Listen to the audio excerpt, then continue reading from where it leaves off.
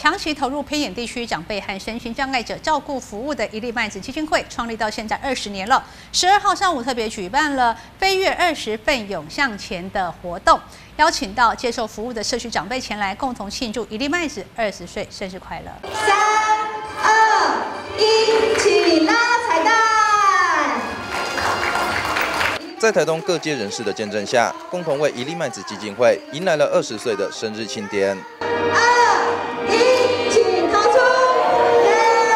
台上嘉宾射出手中的纸飞机，象征着带领长辈及身障人士尽情的展翅翱翔。为了庆祝一粒麦子成立二十周年，基金会特别在十二号上午举行周年庆的活动，邀请长期捐款协助的个人及企业代表，还有接受服务的长辈们前来共同欢庆。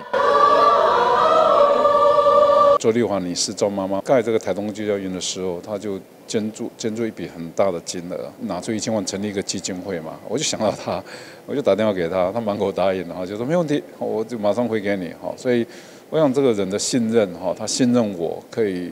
把这些钱做最大的效果。一个念对的念头，然后做对的事情，会产生极大的效果了。哈，因为当初就是一个念头，一通电话，那我真的没有想到麦子可以。做那么多事情，从台东县、花莲县一直到宜兰，哦，新北、台北，哦，那屏东、台南，那服务的长辈从一个东兴日托站，大概二三十位长辈，到现在，当然一个月大概可以服务了十万五千人次，啊，不管从送餐、居家服务、日照、沐浴各方面的所有的老人想得到我们需要做的事情，我们都提供服务。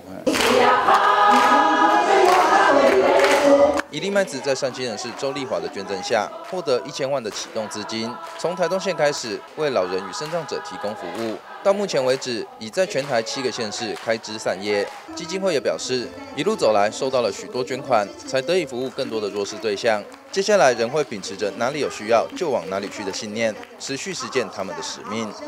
记者启伦，台东市报道。